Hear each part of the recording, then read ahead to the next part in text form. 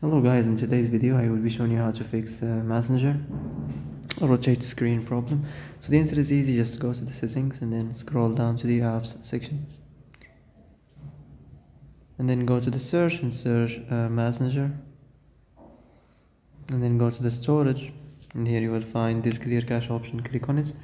Now you can go check it if it worked and if it didn't you can try to restart your phone or turn the Wi-Fi off and on or the Bluetooth or the airplane mode also you can try to clear data but be careful. If you clear data all these applications data will be deleted. This includes all files. The settings the accounts. The databases etc so be careful if you want to clear your data.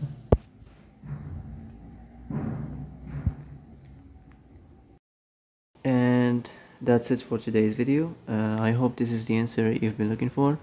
If you like this video don't forget to like and subscribe. And see you in the next video Thanks for watching.